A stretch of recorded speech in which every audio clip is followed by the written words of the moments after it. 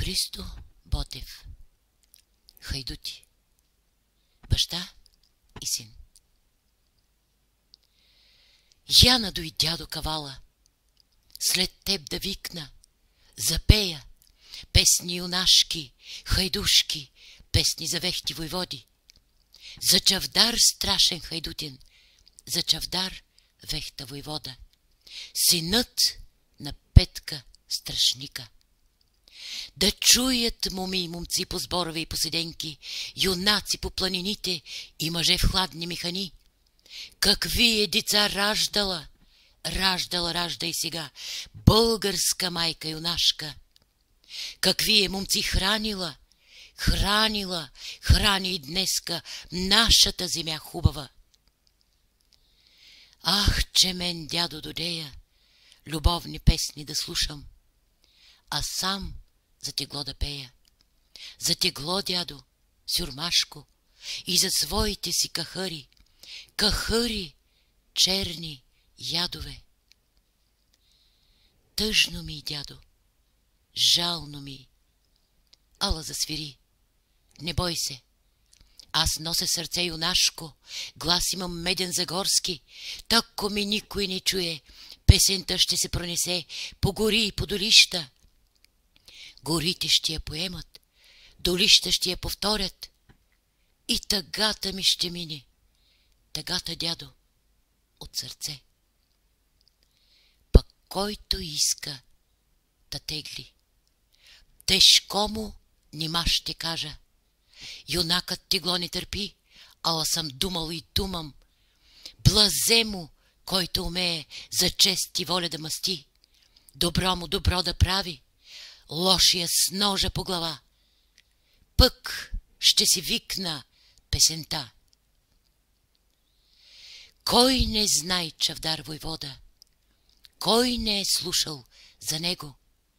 Чурбаджи или изедник, или турските сердари? Овчар ли по планината, или пък клети сюрмаси?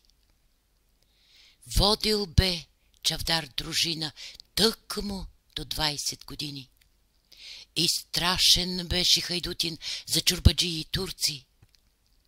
Ала за клети сюрмаси крило бе Чавдар войвода.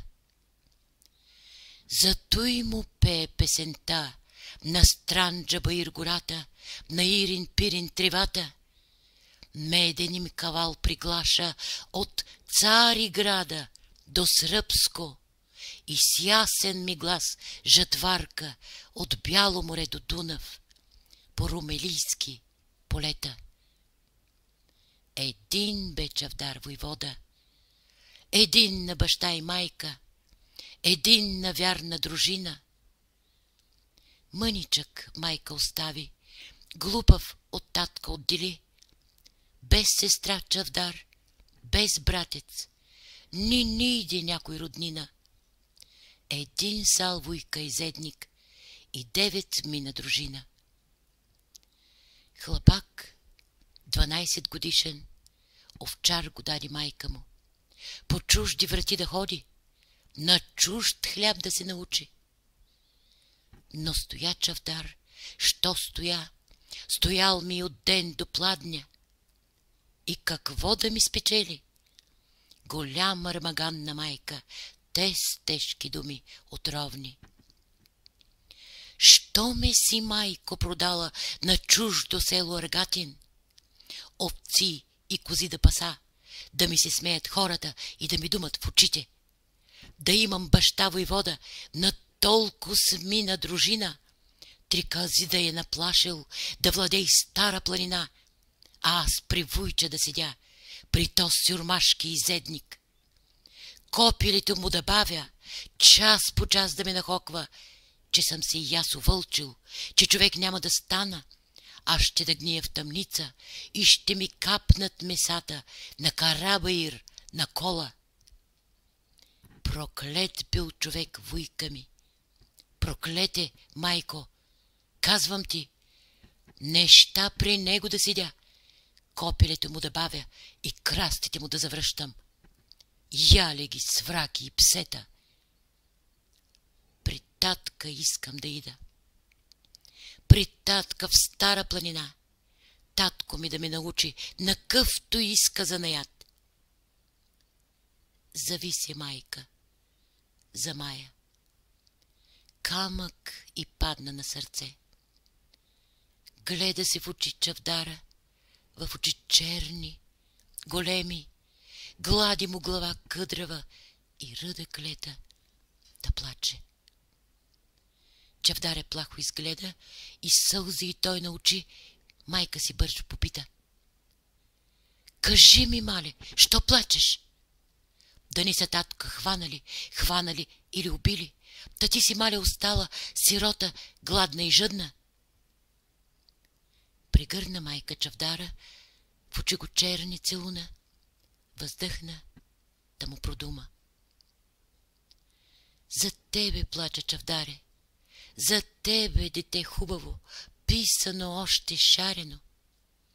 Ти ми си, синко, едничък, едничък още маничък, а лошо думи хортуваш. Как ще те майка прежали да идеш, синко, с татка си, хайдутин, като ще станеш? Татко ти с нощи доходил, за тебе, синко, да пита.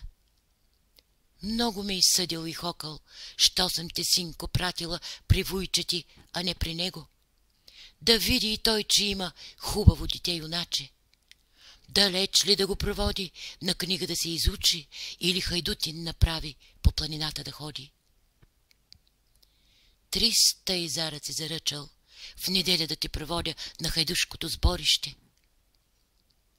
Ще идиш, синко чавдаре, едничко чедо на майка. Ще идиш утре при него, ала те клетва заклинам.